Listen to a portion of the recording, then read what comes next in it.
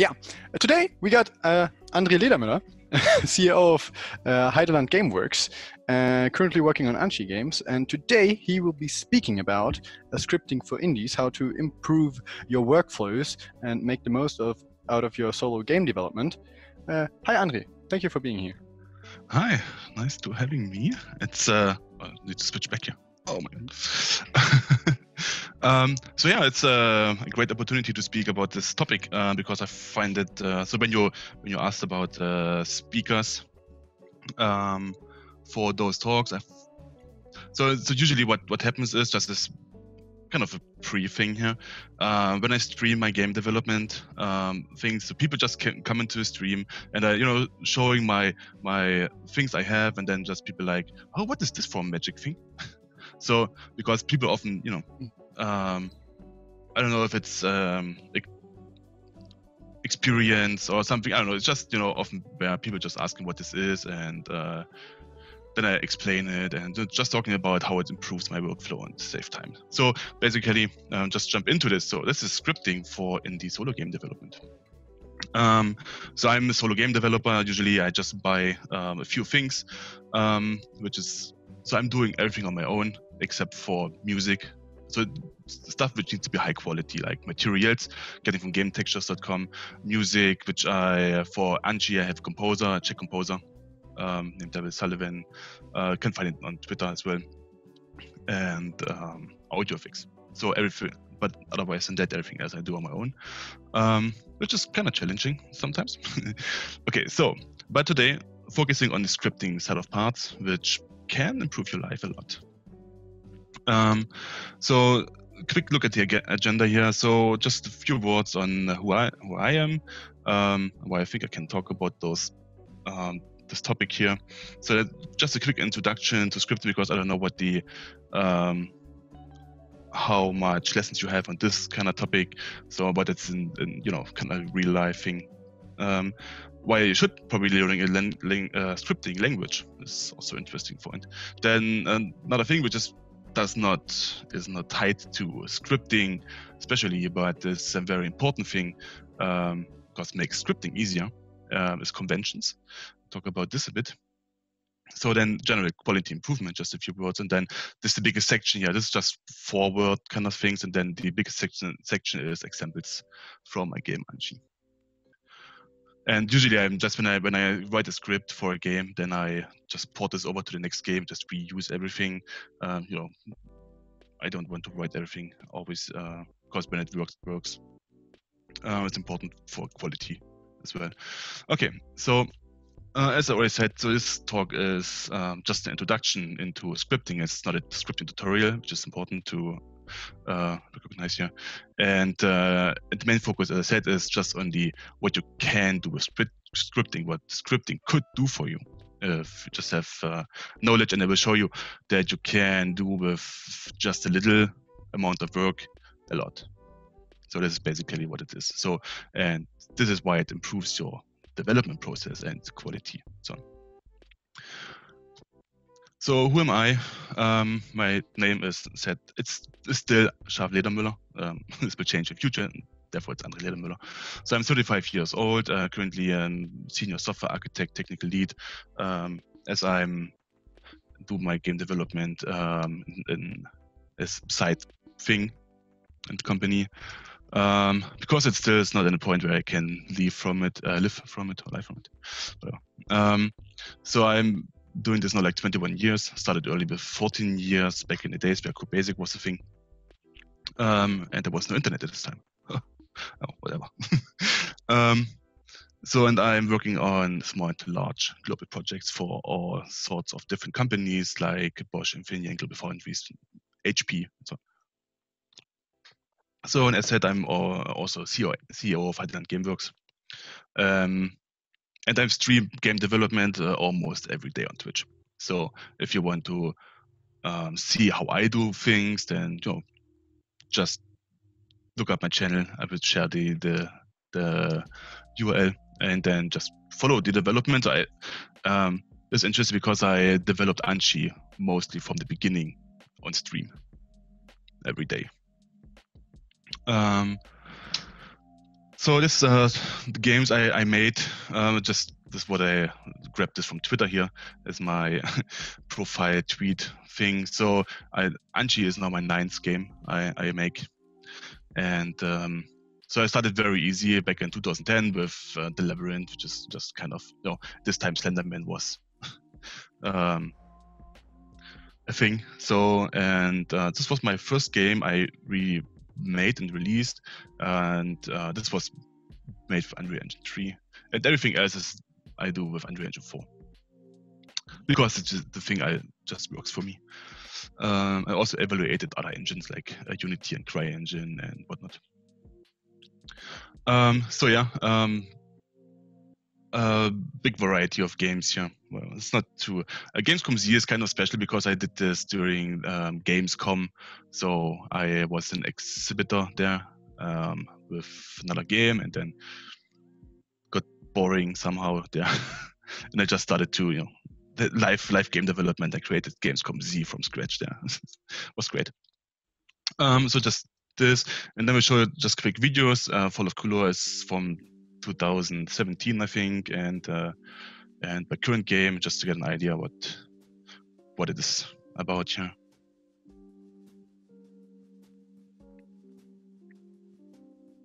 Oh, there's no audio. Sorry for this.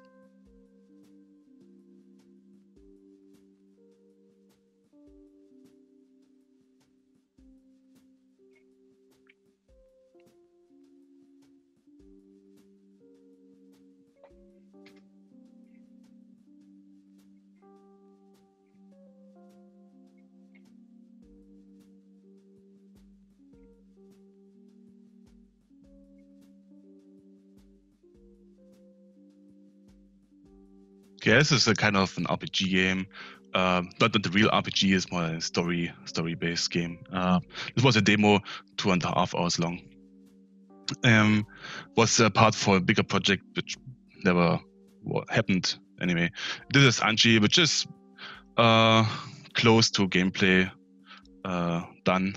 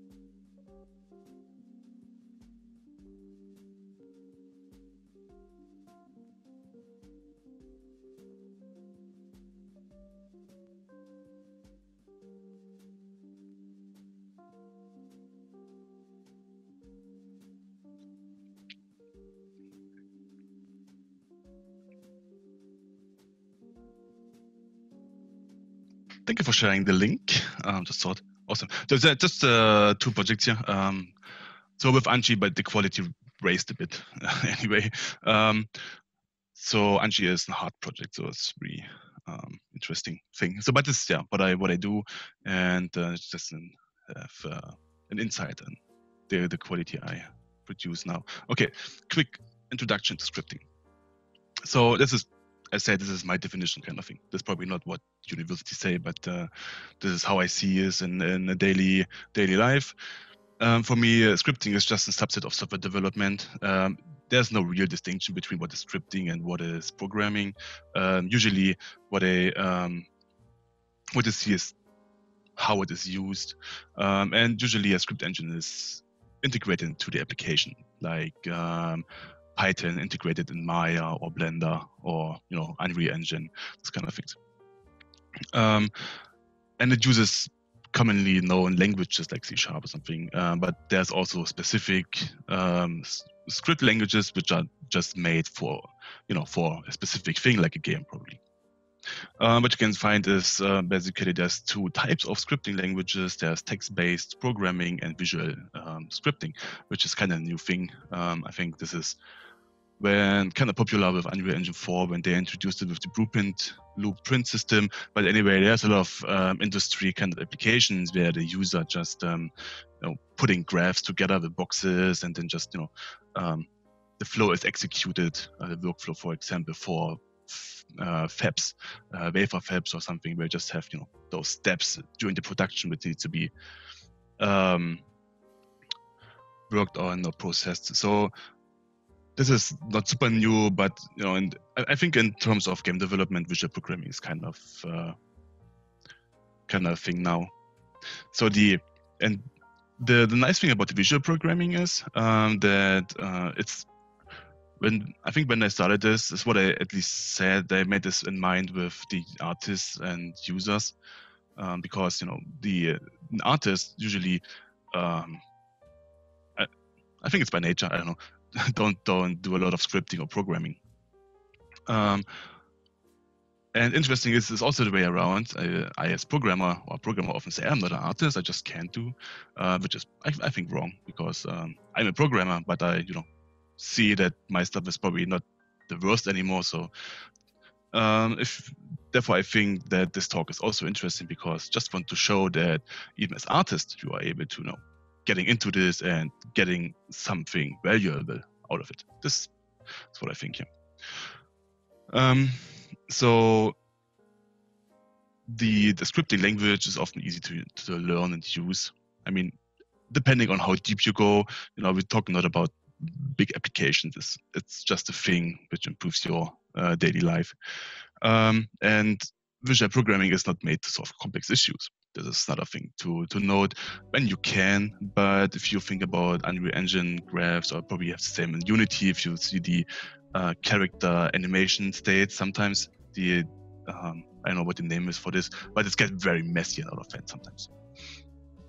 Um, and this is kind of bad because it gets hard to maintain and to you know, ensure quality and and uh, bug it's bug free and so on so um, what can you find for scripting languages? I mean, is it Python um, is very commonly used. Uh, C Sharp is used a lot. You can find Lua, which is probably also known from, um, I think the, the, biggest Lua users were um, World of Warcraft and still are, I think. So yeah, probably you don't know this, but the whole World of Warcraft UI is made in Lua as far as I know. And therefore, if you write extensions for World of Warcraft uh, or mods or something, it, you have to write this in Lua because it's their scripting language. And Lua was also embedded um, until, until some point into um, or the main scripting language for CryEngine, for example.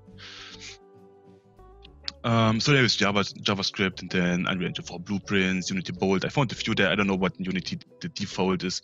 If there is a default, I don't know.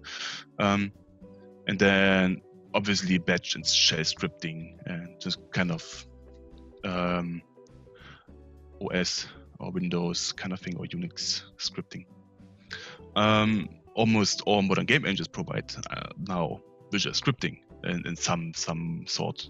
Um, probably you have to install a plugin or something, but you can find this mostly everywhere now, uh, which is a great thing because you know the artists can do logic, uh, game logic.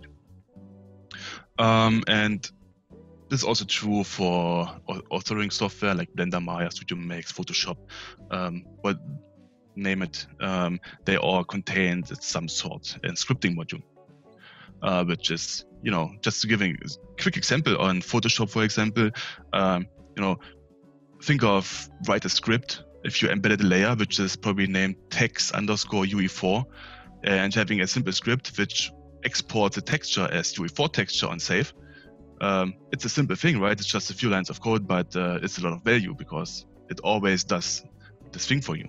Um, you don't have to think about it, right? So that's just a quick example here. And the Python is commonly used, as said, and then uh, just a note here: Unreal Engine 4 C++ feels more like a scripting language, not like real C++. It's not that super crazy stuff anymore. Um, this is important because often when users talk about uh, oh, is, uh, this C++ programming and is it hard or not I think no, it's not. I mean, there's still some C++ stuff going on, but um, most of the times it's really like, you know, not that hard to to get into it. Um, it is important also for later. Um, so just just this slide of wall of text here. Scripting is not like a full stack programming uh, language. The functionality is often reduced to solve just a specific uh, requirement, which is important because we don't write full applications. We just want to solve a specific problem, specific issue. Um, so therefore, a script, or you know, in terms of scripting, even for game script or gameplay implementation, you often just have a script which does a specific thing, like trigger something, or you know, doing this or doing that, and um, where full applications have thousands of thousands of uh, source files and millions lines of code. This is nothing you will find in scripting. So because this is not considered scripting in my world. Um, I can write an application and embed a JavaScript interpreter as and use this as my scripting language for my application. Right? So this is there's a big difference. Um, and so the question why learning a scripting language um, for me is, I mean, depends a bit on you for sure, but um, I think it's easy to learn. It's not like super hard to get into scripting because most of the times, if you look into authoring software like Blender and um, also Photoshop, um, when you work with with the software, you always have like specific modules where you can just can trigger an action, um, and you don't need to know what what happens behind this thing. You just have to okay do this for me, um, and this comes in where it's you know kind of easy to get into this because you don't have to dive into the whole programming language thing. Sure, you will step over like kind of specifics, what you know, what is a for loop, what is uh, if statement, and so on but this is easy to understand. I think this is not super hard, and um, when you uh, when you get into this, it's getting easier and easier. Um, but the this is why a lot of software has this now because just it's easy to do, and with a few lines you can just extend the editor, for example, with new functionalities, uh, which is also great for you because you can add functionality, which makes your life easy. and I will probably say this like 500 times this presentation. Um, and also, this is, I think, this, this point here is uh, very interesting as well because um, cutting need for programmer during concept prototype phase is um, this is the thing I think because um, often the you know artists will do uh, want to do something and then have to in, uh, talk with it to a programmer and just get your idea across. What do you want to do? And then you know this back and forth uh, between the different people. Um, instead, now you just go, okay, I have this this airplane and I want this particular effect there and just fly around a bit to test this concept, this you know, this kind of type of gameplay thing, and just uh, write the visual script for this, which does this for you. Well, it's not a lot of work, but it has a lot of value because now you have something to test, you have something to play, to show, and you go to, uh, you know, for probably to your senior and show this. Oh, here go, I have this kind of thing, and this is awesome and he can test this. Probably has bugs. It's not, you know, not performant, but you can see this, and now you can take this thing, go to a programmer, and the programmer, okay, I, I uh, uh, make code out of it, and because we know that's working. But this is something you can do. This is, um, and you can do this all the time. So this is a, a big advantage here. Um, which gives you, as I said, the ability to write game code as designer and artist. And also another big thing is obviously automation of repetitive tasks. Repetitive task. Um, I will show you what I mean with this. um, so as I said, faster prototype concept iteration, um, as only one developer is needed, saves resources, money, and there's also because of this, there's more time for other tasks, um, quicker evaluation, and so on. Um, another thing to note is that most of the software tools now have kind of hot reload button, which is hot reload functionality, which is also super important for scripting. Um, cuts down the time a lot. Just uh, change something, press save, like in Unity, for example. Uh, save this, and it gets automatically hot reloaded into the system. Just press play and done. It's like one second. It's super quick instead of having um, the the full C++ thing and then just uh, having to wait like half an hour for the compilation. It's like there's a huge difference. This is what something you can do with scripting, not necessarily with um, with real programming kind of thing. Does this make sense? Um, so another thing I find very helpful about this um, is that if you have understanding about programming and how logic works, um, it's easier to you know getting in or bringing everything together. So often you have those discrepancies between the programmer and the artist because you know, both of them having kind, different kind of thinking. Um, and I noticed also from me, from my from me personally. So even I struggle sometimes with my kind of the artist side and the programming side too. Um, but it's easier to bring this together if everyone knows or has at least a base understanding about uh, what's going on. So the so the artist with some programming skills can uh, have a better understanding about the the uh, programmer. So what in, in, which so in the world he thinks or she thinks, um, the programmer thinks. So and so therefore I think this uh, important um, because it, the, the overall communication is better and therefore also increased quality and uh, easier integration of uh, graphics and so on. Because if the artist knows, okay, the there's limitations because of probably the DirectX or OpenGL or you know those kind of things, then um, the artist can work in a way that everything is prepared to work with those systems, which is easier, right? Um, the so one one uh, contrapoint is just the you have to learn it, right? You need the time to learn it. And this is I'm not sure if the company is always willing to do this. I know I know from a few companies who likes to do this because um, they know the advantage for it, but it's probably not uh, true for everyone. So therefore, as as we have talked about this. Um, um, gaming industry is very competitive, and this where it comes in um, when someone asks about you doing home side projects. This is something probably something where I say, okay, um, probably I should learn a scripting language in my free time. I don't know. It's up to you, but um, I would recommend this because you know, just a bit more value. Um, so this was the quick um, why learn a scripting language, and then talking a bit about conventions. So probably you have seen this already um, in in authoring software, Unity or something, where you have um, specific naming things going on, and so on. Um, so just given what I mean with conventions. So for example, you have a code convention, right? Code convention uh, tells you how to structure your code um, what is the naming of your classes, how are variables named, uh, names in general, um, and all sorts of um, naming conventions, for example, and how code is structured and so on. So then there's clean code. Probably have already heard of this, but um, there's another thing um, which I probably should know. But there's just saying there's conventions um, which want to serve a specific thing. Um, we will talk about this later a bit. And then general naming conventions, there's now from Unreal Engine here, but uh, just think about this MAT underscore for material, TX underscore for texture, underscore base color, what we see like the substance, um, archives, namings, and so on.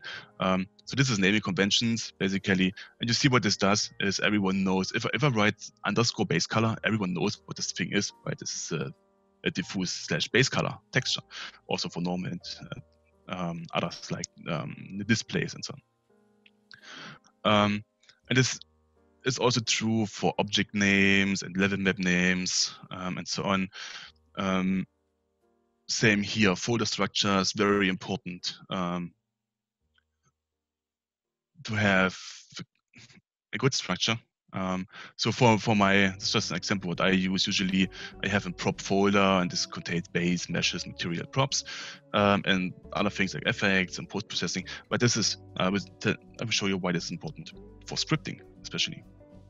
Um, and also where, where and how to store assets and you know source control systems, SVN, Git, Perforce, um, and so on. This is all important to have conventions. So Therefore, I said here basically everything within the project should follow a specific set of rules. Um, even if it's you know kind of burden um, on the developer side to have this in mind and um, to take care of all the naming conventions and where things go and so on. Um, but it helps overall to um, to align everyone. So when someone sees specific thing, he already knows, okay, this is this is this, right? This is base color. This is um, this is a map. This is whatever. This. Um, and it's up to you how you define your conventions. The only thing is that you have to follow them, the rules you um, create. Um, and there are best practices out there for like C sharp naming conventions, C++ naming conventions, and so on. Um, and there's even for Unreal Engine, there's um, a whole page to just say, so just try to describe um, what their best practices are. So, um, and so how, how does it actually improve the quality? Um, so the I think we can reduce the amount of repeti- repetitive tasks. Um, I will show an exp- example for this. What I mean with this is, um, but but you know everything which which you have to do like three times, um, you should probably do something about it. if you know, okay, I need this more often than two times, then do something. Um, because every time you do this work, um, you know, if it's not like if it's half an hour work, then probably just write a script. I don't know. Um, so and then scripts can have to provide design-specific solutions like uh, density optimization or rock generator or an object export thing or you know just thinking about uh, all sorts of tasks you have during your daily work and then just try to figure out okay i when when i export in uh, something in Maya, I have to click on on export button. I have to find the folder. I have to you know typing the name, making sure that the naming convention is correct, and so on, right? And that everything goes in correct folders. And this is a, this is something you really can automate if you have a, a good convention. Therefore, I say convention is important. Um, um, because it helps you for scripting uh, and scripting to create easy solutions. Um, so yeah, and and it just reduces all sorts of confusion, uh, which leads to less maintenance work because everyone does really the same, um, or should really do the same, and um, ex- everyone just knows what's going on. Um, and this is where, as I said, comes in handy here because we can combine 10 manual actions into just one script with a few lines of code. Um, so this means if you just for this exporter example, so just think about if you if it takes like 10, 15 seconds to export this and you have to iterate on this specific model like 500 times, which can happen. I mean, uh, just add up this time um, and then just think about if you're a solo developer with uh, limited time every day, you don't want to do this, right? It's just you want to have an automated solution that just takes uh, one click to do the exact same thing which is half a second instead of 15. That's what I what I mean with this or by this. Um, so this and this leads to more time available for other tasks, like art, PAS, um, making things pretty, for example, and not clicking buttons. Um, and then there's the obvious thing here, like only the script needs to be maintained um, and is shared to everyone to the team. Um, so this is we solve this issue just once and um, if you have an, a team like 10 people and everyone needs to do the same things and now you have this like 10 lines of code which saves everyone 90% of time and then you have 10 people doing the same thing over and over again I see the, the value of this because it just save a lot of time um, and over time as you write those scripts and everyone's using this um, so this leads to a very well-tested script and it's battle tested and there's a lot of crashes and so on, um, which also leads to a higher quality in general because the scripts are really doing what they're supposed to do and and everything in the project um, gets the same thing. Um, so therefore, right here within the power of scripting and the ability to solve a lot of common issues, um, we can improve all sorts of workflows and, and solve a lot of issues um, during game development, um, where we obviously have a lot of repetitive tasks all the time because of its nature.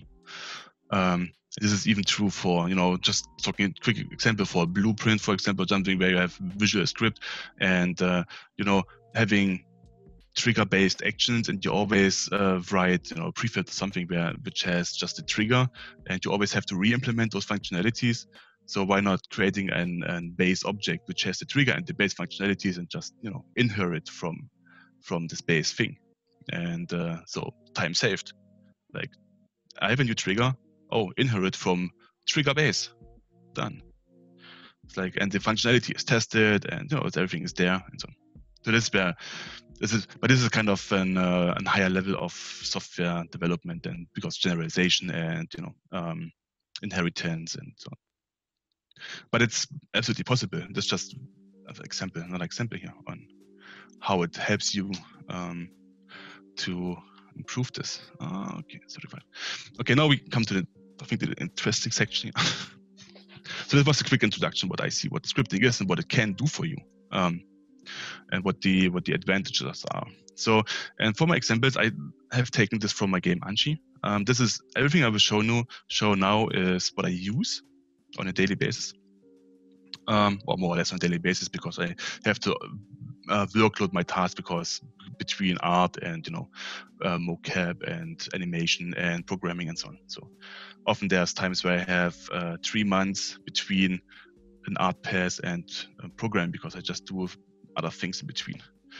Um, and there come I will talk about this later anyway.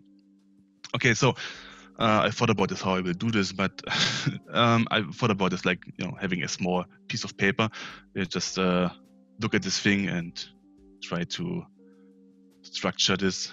Um, so the first thing, as it goes from from basic to advanced. Um, so a very base thing is on command command line uh, tool, which creates a base object. So what this does is basically it creates a new game prop with predefined folder structure and the Blender setup. So my case. Um, this is important because I have um, I have a Blender file, which is kind of a base file, has the, the full setup I need with all the scripts I have.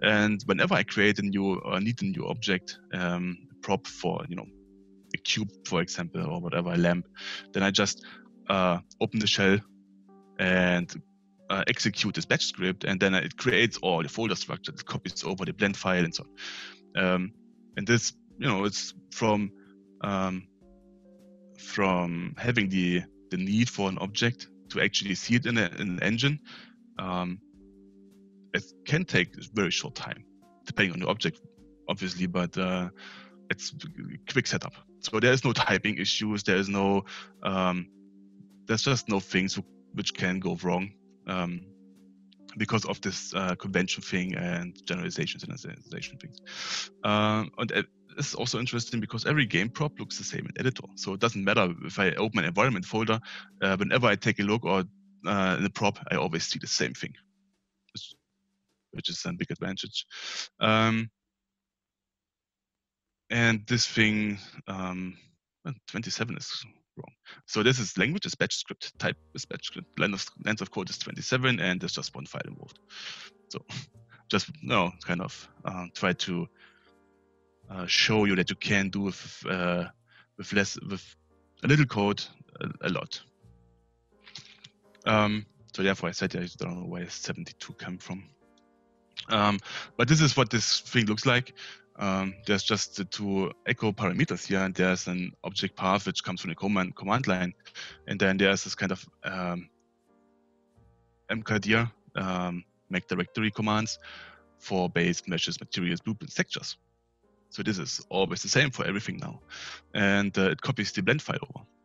So and I just execute this command, my prop is set up, I just open the blend file, start to work, and then comes the next plugin or the next thing, the next script, which helps me with another step. Um, so this is something I just wrote like four or five days ago. this is um, even if it's it's really simple, and this is a Twitch stream sound control because, as I said, I stream on daily basis, and you know, people. So music for Anchi is very special, and you want to test your game or showing people. Um, so when they come into stream and just want to show a bit of gameplay, you always have to you know go into browser and mute or you know pause pause uh, music and so on. So it's just a, a very small tool uh, written in C sharp, which um, which turns down or mutes the browser when a specific window is focused. So it's a very easy thing, but it's a huge value because I save a lot of time, a lot of you know, uh, sanity thing. um, so th- this is also important because it's kind of marketing thing. But um, if people come to the stream, you don't want to mess around like uh, 30 seconds to find your tab where music is playing, for example. No, you just want to press play, and everything needs to be as, you know, as as ready as possible to show or pitch your game to those people. Um, just super valuable. And is the code. So even for for non-programmers, it should be, uh, you know, it's just a while loop. It loops over and over again, and uh, it just checks if the active window title is event editor for Fmod, for example. Uh, mute Chrome is my window title Anchi game preview. Oh, mute Chrome. it's not. Oh, unmute. Set volume 15. So that's it, right? This is the script. This is this is super powerful, but this is what is this like 20 lines of code here, and that's it. There's nothing more to it. Um, but it's an in, insane value, and it really has.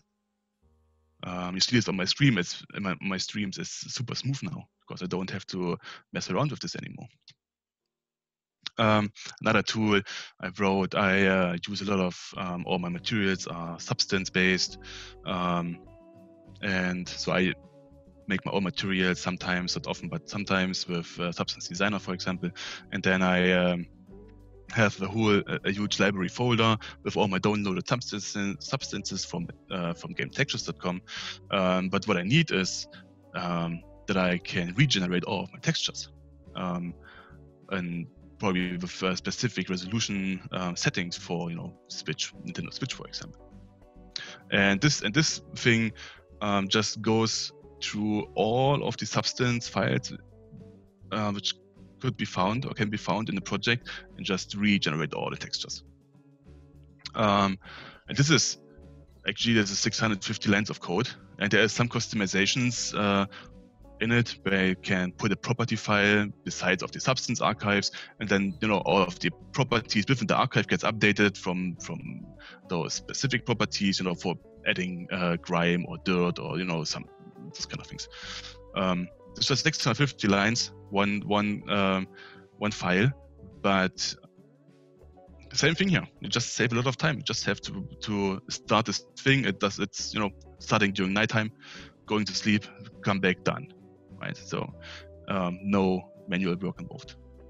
This is especially important for you know kind of um, pipeline things, um, how your project works, for example.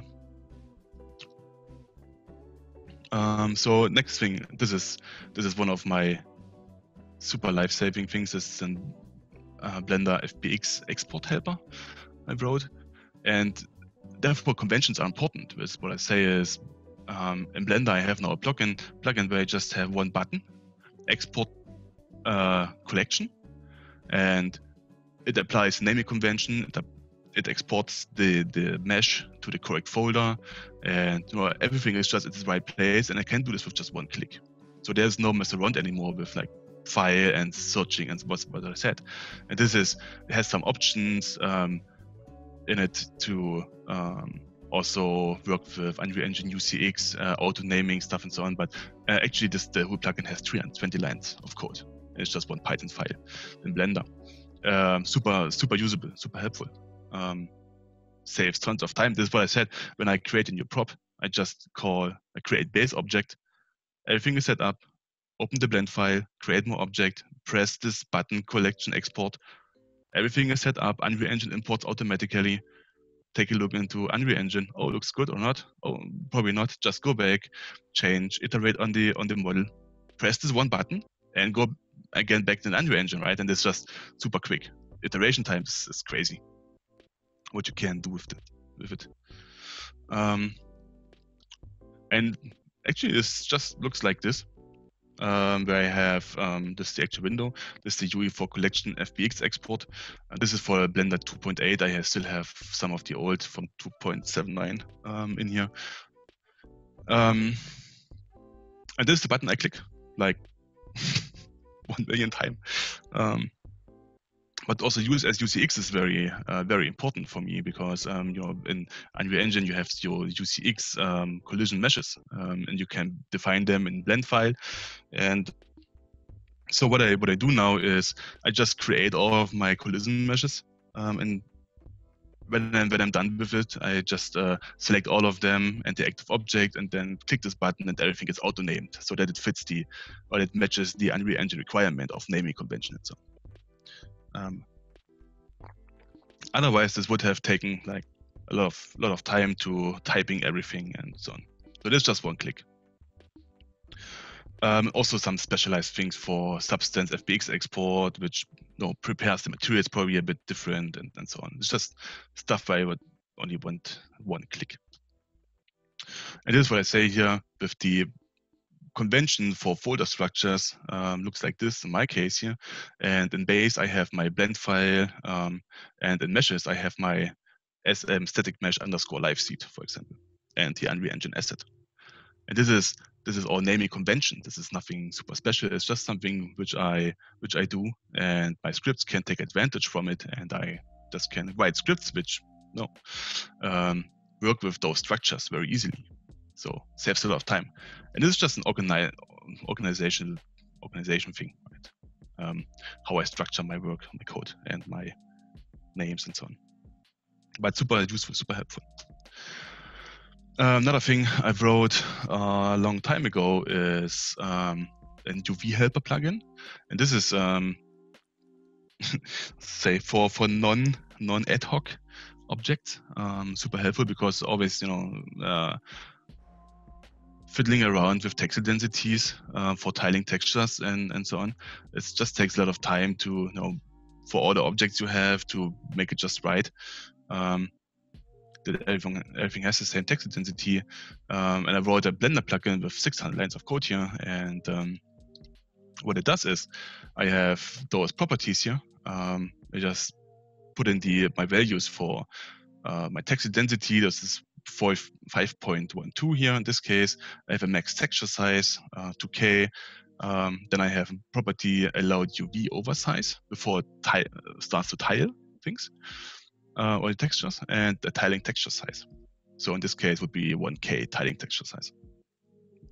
And then I have um, three other operations. Unwrap just takes the model, unwraps it, and applies the texture density. Um, auto unwrap is I just take a model and then it does the um, smart UV project in Blender and auto unwraps everything and applies texture density. Super useful for you know, not too important objects which are in the background somewhere. But I don't want to spend time with this a lot. Uh, and then another awesome tool is Center at, at Cursor. uh, I once I made a scene where I had kind of an old boat boathouse kind of thing, with a lot of old planks and rotten stuff and I everything should get the same base texture basically. And then you do an unwrap and you have to you know move around all of the UV islands and so on. And I just have a button for it. I click into my UV editor, place a 2D cursor somewhere, and press this button, and all of the uh, islands, UV islands, get centered around the cursor. And if you have 1,000 of them, you know, it's just one click and it's done. so, and the, and the interest, interesting thing is if you have like an uh, UV atlas texture um, with different textures on it, and you just have to click or place the 2D cursor within the within the specific texture reason, uh, region. Uh, click this button, and then everything gets placed into this specific um, texture region. And yeah, it's just super useful because it saves ton of time. And here's an, um, the, the result of this um, unwrap operation. So you see everything basically has the same texture density from small objects to very large objects. And it's just one click. So I can select all of those objects, click unwrap, and then it's done. Right, so this is um, super helpful and saves tons of time. And Anchi has now um, Anchi has now around 4,100 assets so probably CD. it's a lot of um, the time cut is huge. So okay, another thing, um, Blender plugin Armature Animation Bake. This is um, this is more technical, but uh, it's super awesome because it allows you to do other crazy stuff. Um, so this basically renders and um, Blender armature into a texture, so the animation. So this is um, which gives me the ability now. You know, if you think about skeletal animation in an engine, it, you just can't have like 10,000 characters with skeletal animation because you know the performance reason is or the performance cost is just too high. But instead of having the the um, the animation rendered to a texture, which you can sample in in a shader and apply it with vertex displacement, right? Um, is super useful. Uh, but because you can now render like 10,000 uh, static mesh instances and apply this texture and having, you know, think, think of birds, for example. And now you just can do like, you know, crazy stuff with it. And this is how it looks like. So there is, um, this is a texture. this is what the animation looks like. Um, so this just encoded. Um, basically, on on the x-axis there is um, the the relative position to the to the to the rest pose, and the y-axis is our frames, and it starts and at bottom here with frame zero, and then it goes up to 30 frames. Um,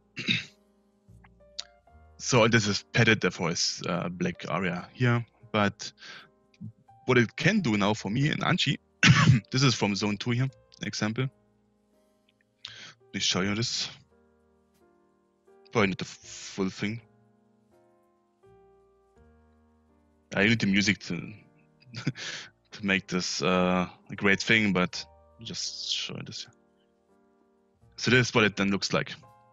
And this runs, and, and this runs on Nintendo Switch. Uh, stuff going on.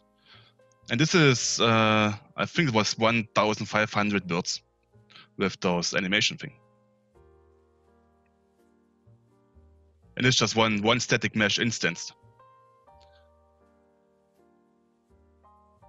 So this is, um, and in terms of scripting, what it does now for me is I have this the system now with this 200 lines of code um, and the kind of spe special shader.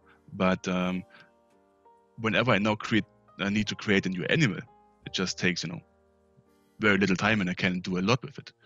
Um, um, so this is also it's more a technical thing, but um, I just want to show this that um, think outside of the box. I think I want to say with this is it's not stick to your you know the the usual uh, you know thought processes, but try to think outside of the box. There's a lot of stuff you can do with uh, kind of creative solutions. This one is um, so as I do all of the mocap stuff on my own um, here in my in my room. um, so what I what I wrote is a Blender plugin which um, streams mocap data uh, from the mocap software into Blender, um, which is a huge time saver because you don't have to fiddle around with you know FBX export and import this into Blender and you know retargeting probably and all this sort of stuff. It just takes huge amount of time. But instead, as the uh, mocap software had, um, sends out the data during you know if you play the animation, I can grab this, uh, this data and just apply this to an armature. This is just 670 lines of code, but uh, probably see if I have a lot of um, a lot of animations that I have for Anchi. Um, this is what it looks like in, in Blender here. I just say start streaming, have my, my rig applied, and um, some more values here for hips offset. But but this is now this, right? Just uh, play, press play, and Axis Neuron software, and it gets streamed to Blender. Or you can see the code on the right side here. And this is actually from the game, just in the game. So this is um, it's also more technical, it's a bit more advanced, um, but it's not a lot of work, right? Um, at the end. Um, to do this. Probably takes a bit longer, but the, the overall value, if you think about the project which takes two years and you have this and you spend and you just save always like five minutes, it's like, you know, the, the value is just huge of those of those things. Um, I like this. Just play it again here because this I think is kind of impressive always. Um, when people see this because it's just when you have stuff like Live Link, for example, uh, where you can stream this data also in Unreal Engine, but there's some nothing for uh, Blender, for example, as far as I know, and um, and you always have to do some post work. I mean, this is just you know uh, streamed over. I have to do some post work to clean up the animations a bit and so on, but um, but this is um, takes down takes a lot of time. Uh, cuts down a lot of time. So another thing is the UE4 UE4 components, which are kind of scripting. Um, so actually, it's a landscape generator. It has a C++ class, and it has uh, 230 lines of code. There's you know, some Perlin noise stuff involved, but um, actually has two files. It's a header file and C++ file. But um, what I can do with this, if you think about Anchi, Anchi has um, a very specific kind of uh, landscape where you have uh, from super it's a desert game basically um, where you go from super soft like you know smooth desert things to very abs- or super abstract um, environments. Um, rocky and spiky and whatnot. And uh, if i if i tried would have tried to model this or sculpt this with landscape editor no way just no way to that i would be able to do this in a in in, in a time frame where I say, okay, this is uh, something which could work. So instead, I wrote a landscape generator. It took me like two days to write this thing, but now I can generate landscapes, and I can generate landscapes like this. And is just this 200 lines of code, right? I can go from super smooth. This is uh, this is four square kilometers here size. Um, I can go from very smooth um, desert thing to more abstract. Um, this case here, in this example, more abstract, rocky, spiky things Yeah. Um, super important for game development because when I started to work on Anchi and I had uh, I needed something to work with and to iterate on, I just went into this thing and generated landscapes and it all from this point I already knew okay this will work this will not work those kind of things. So super uh, um, helpful. And even now, as I started to work on Zone 5, I just decided I have to extend this a bit to provide a bit more gameplay in the, in the start section or start, you know, the beginning of the game. And I just generated a new landscape, put this into the map, and it took five minutes to do this. Not two weeks. Right? There's there's a big advantage of this. And I I was quickly uh, ready to test it, to iterate on it, and just you know, getting stuff done. So I think this is the last example here I have. Um, for blueprint, just a random trigger. I had to um, just to show this. Um, I had to go for the screenshot. I had to uh, um, clean this a bit up and break this down here. But um, essentially, Wires is this great for artists, I think, because it's really easy to. I think it's can understand. There's the input action activate. There's um, some variables. If someone is in within the trigger zone, um, show cinematic bar component. I mean, show cinematic bars. Um, hide input helper widget. Destroy the you know, trigger zones and location marker if there's something. Play an animation.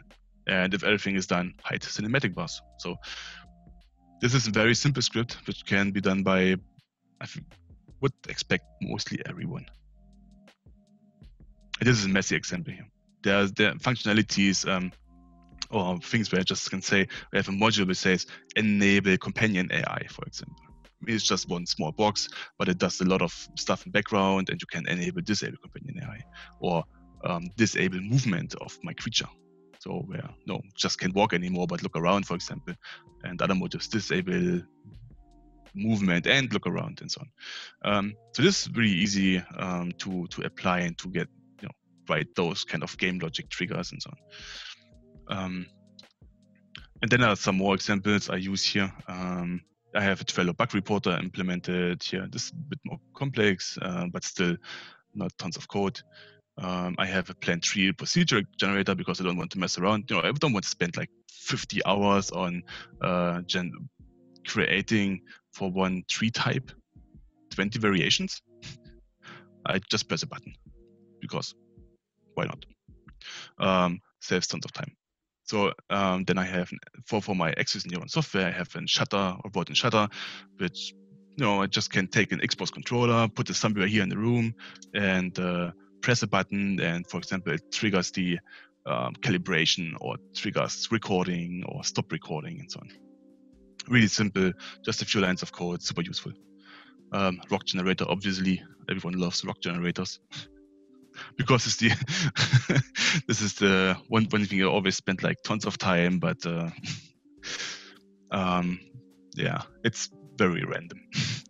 so then I have something which I can destroy or have destroyed object gener- generator. I just put in mesh something and then it breaks it up. So I have uh, community management automation is it's also just a script. Um, it's just a side note. It's not tied to game development, but to have a tool which posts automatically to tweet three different Twitter accounts, Instagram, and Facebook, you know, it's just one click. Oh my god, my phone. My. Um, just a side note here. So you can do also something like this with scripting, right? This is not a lot to do. Um, so then I have my big my big substance library and I have an archive preview image renderer where I just say, okay, here, regenerate all of the preview images for my materials. Um, when I add new materials, for example, or something, or have updated. Um, and then another script from external script, um, small console tool, fix Unreal Engine shader priority. Um, people who work with Unreal Engine knows that sometimes the material compilation just takes a long time because of wrong shader priorities, but um, this is a side note here. So I think that's very examples. And then conclusion is, um, so basically scripting enables the art, artist designer um, to implement their own stuff and test it and iterate on it and present it to a programmer later and uh, or to the team and show what you up to and what your ideas are. Um, obviously, as I said many times now, huge amount of time saving. Um, script creation is also easier because of conventions, because I know where stuff goes and how it's named and how it looks like, um, or if the repetitive tasks can be cut down. Um, so obviously, the, I think the the quality improvement because you do everything always with the same thing um, with just one button click is obvious because I don't have to take care of you know, of the stuff um, because it just works after some time. Oh no, I'm not Todd Howard, but just works. um, and another thing is if you have conventions on a project, um, like me, if I there I have some some meshes and, and props which I haven't seen in like one and a half year, but I still know where to find it and how because everything looks really just the same and I don't have to think was it now like uh, final A11 BC? I don't know. I just have this one blend file, open this and I exactly know what's going on. Um, and this leads also to increased uh, maintainability maintainability because everything is just the same at the same place and you know. Um, it's easy, also easy understandable if you have an for example if you have a new team member which you have to introduce into the project uh, what you can do in this case is just oh this those are the rules set it to the project um, and the new team member can start on the project and within a few minutes it's clear what's going on right? There's less overhead time in general on the team. But this is um, experience stuff halt from uh, experience stuff from from all the projects I, I, did and so on. I mean, find this also on internet because it's best practice. Um, and just a conclusion here, scripting can offer an incredible, powerful step within the workflow. um, so most of the points are valid for non-solo dev projects as well. Um, but sometimes manpower can just do the same job in a better way. Uh, if you think of having like 10, 10 character artists, probably it just takes longer to to write something for a specific problem, which would take like six months to write. Just makes no sense, right? It needs to be um, reasonable.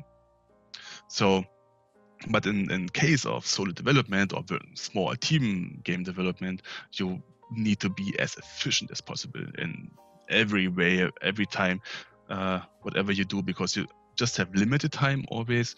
Uh, sure, you can work 10 years on a game, but where's the, where's the point? Um, because you have to earn money, and if you do this as business and, and so on, you just really need to cut down your time and uh, make your life as easy as possible with those kind of things. Um, but yeah, as I said, it applies to to teams as well as solo developers. Um, but I, I, have a I have a bigger need as a developer for those kind of solutions. Oh, that's it. Thank you. so you can find my Twitter handle underscore Andre Schaaf and Twitch Andre Schaaf. So as said, mostly daily live streams, game development. That's it. I'm done. Thank you. Awesome, awesome. Thank you so much, Andre. I already posted a lot of links into the chat, so if you want to check that out, feel free to to go there and look up his Twitter and stuff. And we already got some questions in the chat. And uh, I would start with the first one. If you would like to speak up for yourself, feel free to do so. Otherwise, I would just read them uh, to you, Andre. So the first is by Marcos. Um, how many scripting languages do you know, and which one is your favorite?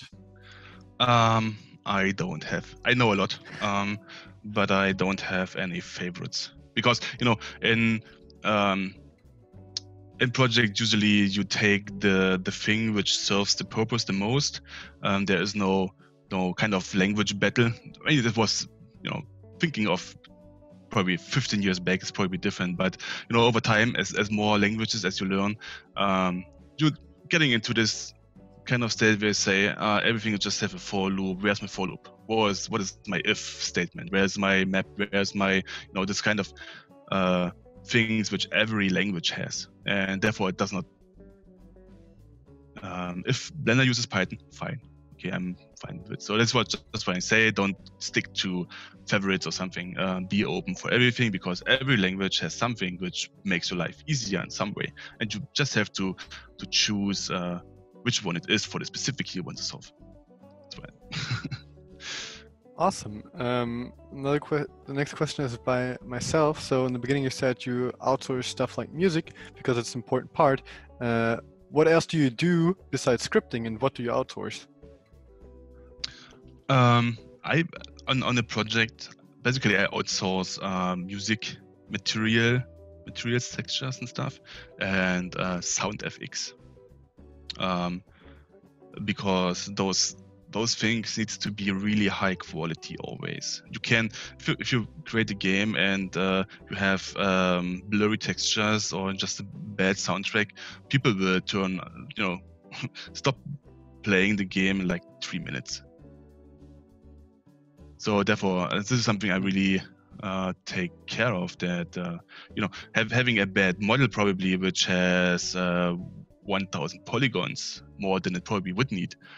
The player don't see this, right? This is just kind of quality internal quality issue, but it's not present to the player in, in way uh, until it affects frame rate. Awesome, gotcha. So the next one is also kind of uh, important for myself because I was like, uh, as you showed the uh, the texture density uh, stuff, I was like, damn, that's that's so crazy. That's so good because I when I started like 3D modeling and I wanted to do pixel art on 3D models, you you really struggle with that if you do it wrong. Uh, so the next question is by Michael Koch. Are your Blender uh, plugins, the FBX exporter, UV helper, etc., available online? Oh no, uh, sadly not the issue or the the thing about this is not that I don't want to share it, but um, a lot of those things, if you write scripts and um, you write it in a way that um, probably it's not presentable to a wider audience because you know you, you can probably live with a bug you, you make uh, uh you know that's just probably a specific bug um, but you don't want to share this with others. Um, you will find this sometimes. So therefore my my plugins are very specific and probably sometimes messy. Um, i thought about it um, however and uh, probably I will release them at some point when they get some uh, rework. Because I so I got one or two uh, requests already for the Axis Neuron to Blender Stream plugin, which is uh, hmm, people like this uh, somehow.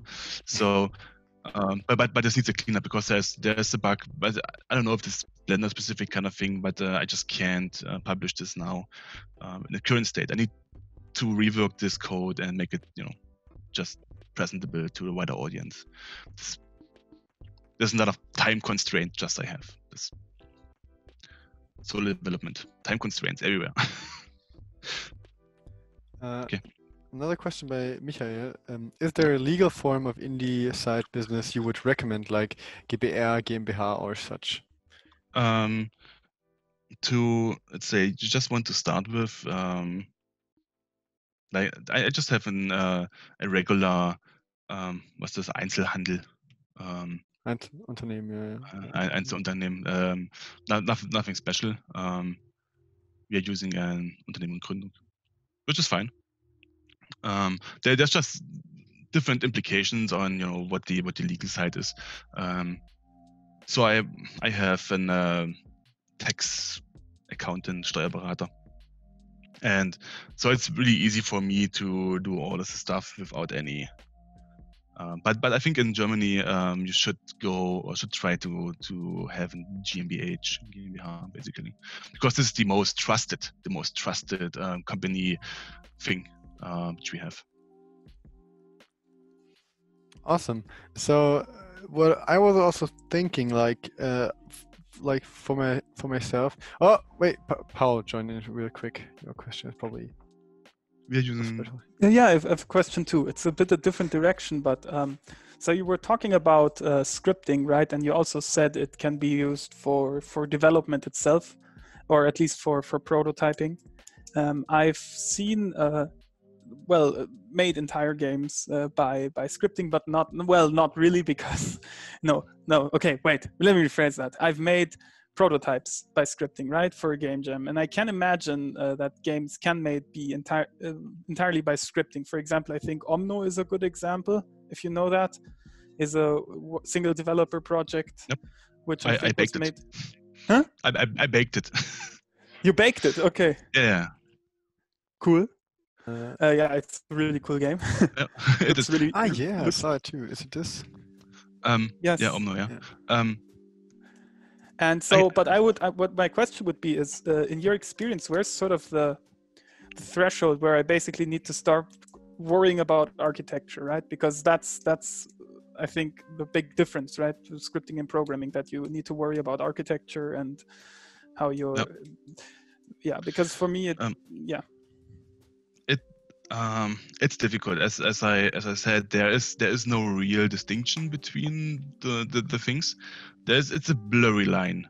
Um, sure, you you can uh, write entire games just with Unreal Engine 4 blueprints, and there's nothing absolutely nothing wrong about it, because for example, Anchi uses like 90% uh, blueprints. Um, this is not the thing. What I just wanted to say is there's this when if I talk about scripting in this kind of case here, I say um, um, writing small tools which improves your life. Um, you just have to take uh, to be aware of. That's what I said when the, one of the first slides here at, at the beginning, where I just uh, stated the it was like what I, I said. You know, not made to solve complex issues. You can, but you know there's there's a drawback because the the more complex the issue gets, um, the um, the, the more complicated it gets to to write those things. But you know, therefore the distinction between what what is scripting and what is you can write a whole game with an Unreal Engine or let's say another engine, but I don't know Godot or something. Um, where you just have JavaScript, for example, right? So you can you can do this. There's absolutely nothing wrong with it. But at some point, the more complex the issues get, you're starting to you just have to think about um, architecture. So how are you async events are gets yeah. handled and sent around and those kind of stuff. But this is this is software development. This is not this kind of scripting I'm talking about.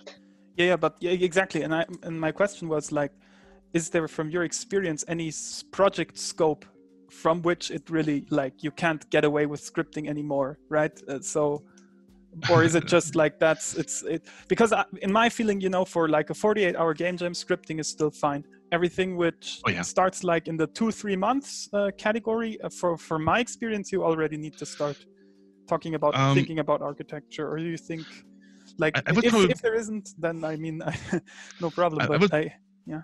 I would probably say yeah this is the scope dependent thing for sure. Um, and absolutely also on your ability um, hmm, do you can handle this do you can handle this you know can can you handle an, an five hour game five hour content game with just scripting fine just do it. I mean, there's there's nothing wrong with it. Um, I, I don't think there's there's no real. It always depends on your experience, on your scope, and um, you have to make. You know, if, if you when you wrote your game design document and you know what you want to do, and then you have to think about the architecture. So what's what's needed to make this happen, um, or you know, having a, a, good guess about what's needed to make this happen. And then you see, uh, probably uh, we need landscape generation, for example. And if you do this with scripting, scripting always has this this uh, cost of you know performance cost because it's interpreted in runtime. Sometimes probably as Python compiled to an intermediate format, but you know um, there's a lot of variables you have to balance between uh, complexity, speed, you know, performance, maintainability. There's just a lot of things. Um, you sure you can start, and this is something which happens a lot of times. I think, at least uh, as far as I have seen it, people are starting just with this kind of scripting stuff, and after some time, they they decide to move over to C++, for example because just getting out yeah. of hand at some point so yeah. exactly and then that's like that's the reason i was asking because you know you have to make this decision in the beginning right and you could also make the wrong decision if i start you know implementing architecture and it yep. gets out of hand in the beginning i'm doing like over engineering right and then uh, I, I will kick myself as well so so that's why i was asking for your opinion but it's good to hear that i mean okay could have thought that myself that's very project dependent and that even like if you're doing a three weeks project it you can't say clearly if you're gonna need architecture or not. Um, let's just quick. Uh, just want to add something to this. Is um, it depends a bit also on on the experience of your team members and for example the programmer if um, so if the programmer has a lot of experience and knows how those software concepts uh, work um, it's easy for for the for the programmer to implement those kind of architecture things um, right from the beginning. With this in mind, for example, if you have an uh, item system somehow, an RPG, um, it's easy for the programmer to know, okay, this is an item. I can generalize this as item base class, put everything in there, and you know, and um, then it's getting easier, a lot easier to uh, start with this because you don't have to, you know, oftentimes when you uh, start with development in, you know, terms of experience, um, you write stuff and you refactor, rework things, and rewrite, uh, and you learn from this, and you know, going through different concepts and so on. So this is, and if you have an experienced programmer, already knows, oh, I have to do this like this and this because there's those constraints, and you know, it's um, depends, really depends on on on a team. Say. Okay. Uh, okay. Thank you, Paul. What would you say, like? for example, I started with uh, scripting in Unity, and I started with learning uh, programming by using Unity.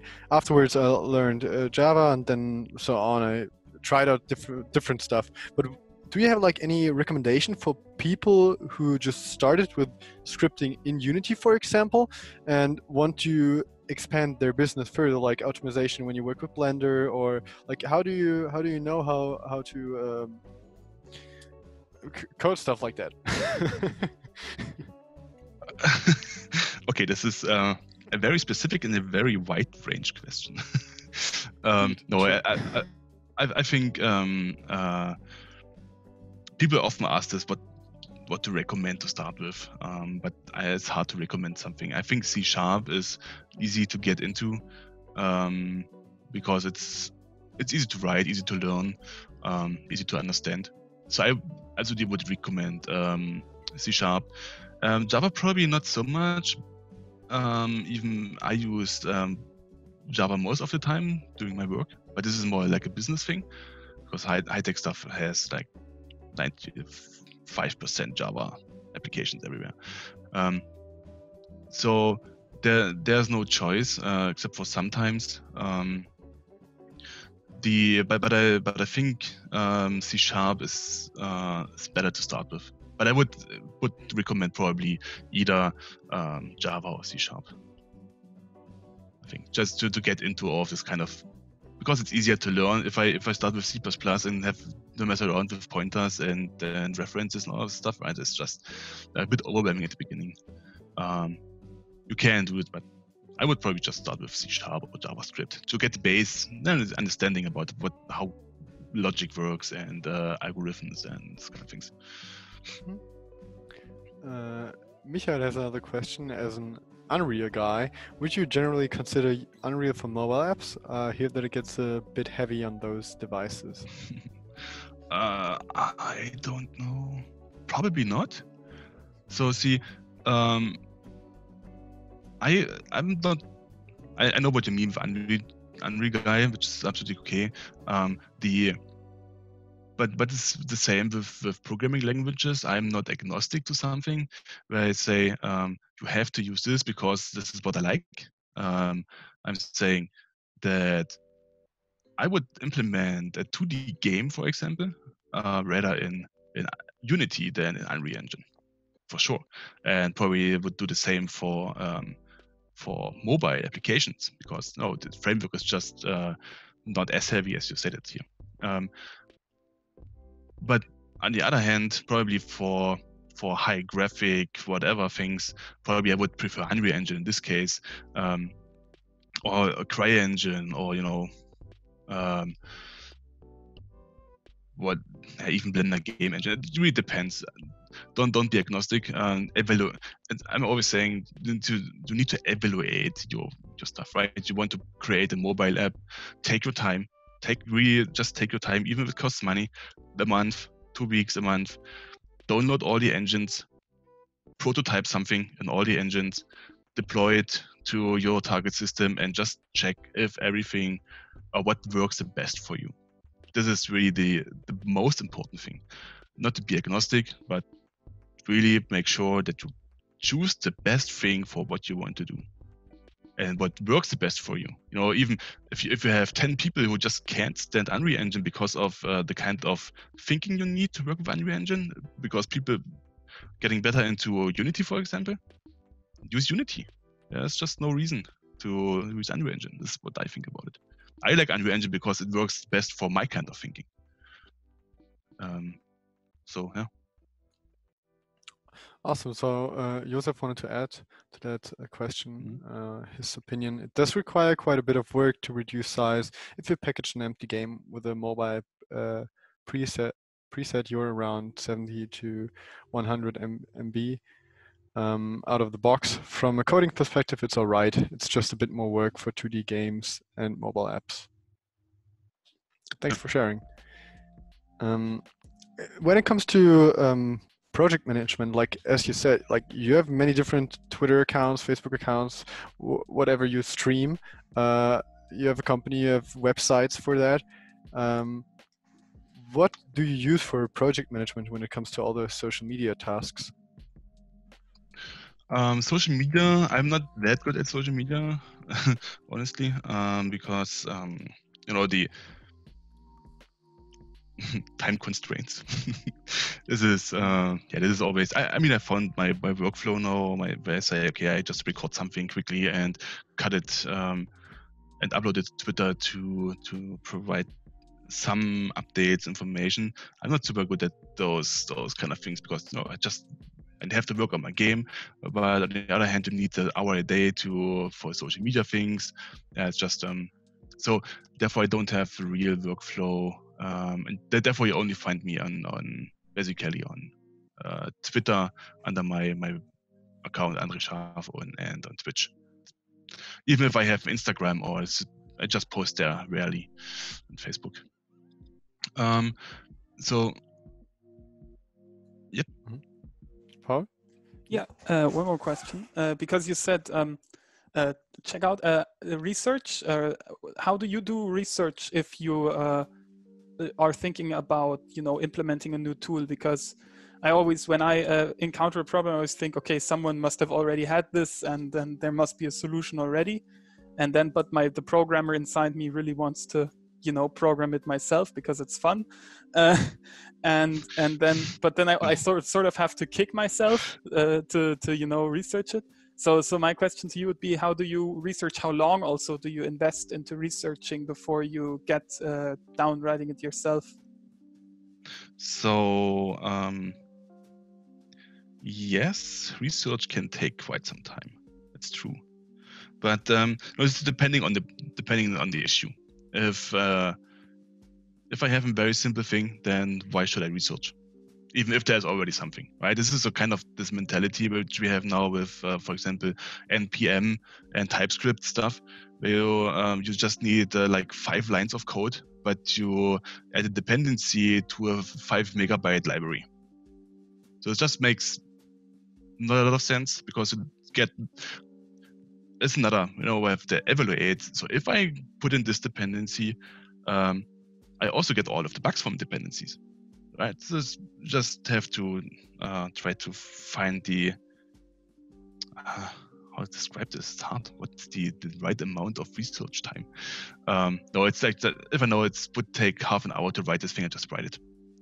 If I uh, need something more complex, um, I take my time to research until I find something, and then I, and then I just look at the options um, and and think about what I want to do what my what my goal is with this thing, and evaluate the software with this goal in mind. Um, and if there is nothing which fits my needs, then I will write something for it. But if there is something, even if I have to pay it, then I just do it, right? Because but but I always but what I do is then I always take care that this thing what I buy in this case is kind of an industry standard thing this is also super important because you know if you don't want to use something which is uh, written by someone uh, which is used by three people you can do this. But on the other hand if you have a kind of industry standard tool you learn this tool and if you apply somewhere the company a game dev company and you can say okay i use this tool on my daily basis because i that's what i do right? So this is another thing i have to balance always. Um, and going back here to the project management thing, um, this is what my my Anchi board looks like. Um, I use Trello most of the time, but in my I use also Jira and uh, Monday.com and um, whatever is needed by by work or uh, customers. Uh, I do also some uh, some side projects with my company. Um, the last thing I made was I wrote an 3D uh, building generator out of uh, terrain data for a Nor- Norwegian company. That was a side project. Um, but super interesting. Uh, and they use Monday.com, for example. So it's the same thing. Don't be agnostic. Uh, just check and research what's out there and what fits the what fits you most. I like Trello because it's the um, the thing I um, how I work best. Um, so I have just a lot of columns here with uh, all of the different things and project planning. There's times attached and even here screenshots. And this is some of my, uh, of my uh, base level layouts I made uh, two years back. How, for example, the first zone will look like in terms of level design and, and so on. So you find this for, for everything here. And then going um, into the zone one feature bugs and so on. Just fully fully planned. Um, so I even have uh, scripts where um, where someone can post so through Twitch chat. I wrote a Twitch bot, um, and if you put in a specific command uh, with a feature request, for example, and this feature request will then send to I have an Anchi public collaboration board from from the from the viewers, um, so if they have something to, to say or see something, I just send a feature request into this board here, and then I go like in uh, working on those tickets and you know. so this is um, this is actually an image here which was made by by uh, it's not a big image, but yeah, this was made by by a viewer. Um, and screenshots and whatnot. So this is uh, yeah stuff I use here, and it works for me pretty well because it's not complicated. It's not a lot of overhead to work with this. You just need some kind of um, sorting here um, to to keep uh, to keep it organized. Um, for example, this one here is outdated now, but this is schedule just to know where your phases are, what you plan, the time ranges, um, release versions. This was for my for composer here, for the OST and so on. So this is what I use basically. Um, you can do a lot with this if you maintain it. Um, then yes, absolutely nothing wrong, and you can use this for whatever. I mean, I have like just see this here. I have uh, 500 boards for whatever. I even have boards from very old game which never saw the light was with Segway. yeah, it's just, um, it's just a lot. So, but this is, but this is comes with. I, think this is just an over time thing. Um, the longer you work on projects and industry projects, and you know, just gaining experience over time, um, you're getting just getting better at it. This, is, and I, and I always like to show this to to people, just that they get an idea on uh, um, how how it could be done. Thank you so much for taking your time, Andre. It was a pleasure to have you. Yeah. Uh, Thank you having me. The video will be available in a few weeks, probably on YouTube. Uh, I will send to you if it is. And thanks for everybody for participating. Yeah, thank you. It was uh, really nice. Have a nice day, and yeah, see you soon. you too. Goodbye, everyone. Uh, Bye. I'll quit the Bye. meeting now for everyone. See ya.